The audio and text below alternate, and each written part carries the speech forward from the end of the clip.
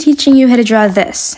First, you're gonna need paper and a black marker. We're gonna be starting with these little gold things that wrap around the tree. So you wanna have it a little squiggly on the outside, and you're gonna bring the squiggly line up and come around to meet it on the other side. And you're just gonna continue making these squiggly shapes, because it's gonna be wrapped around the tree three times.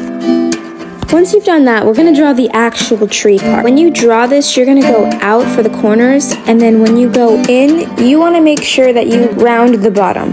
I'm also leaving some open spaces for ornaments, because we're gonna add ornaments on the tree also.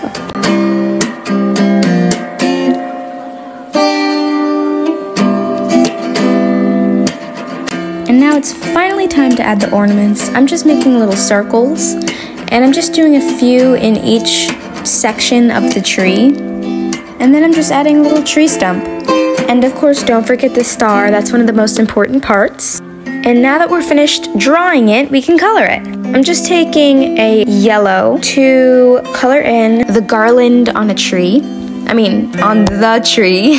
and of course, don't forget to color in the star on the tree. But now that we've finished all the yellow, we can do all of the ornaments.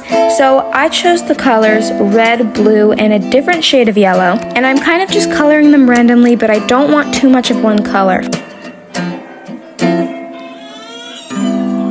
Finishing them up. And the next thing we're gonna do is get a green marker and a brown marker. I'm coloring the brown tree stump first, and it's so satisfying to color with these markers. I love them. But after you finish that, we're just gonna take the green marker and just color the rest of the tree in. I think this is a really cute idea to make like a cute little Christmas card or just like a picture, you know? you know? I mean, you can kind of use this for anything, but yeah.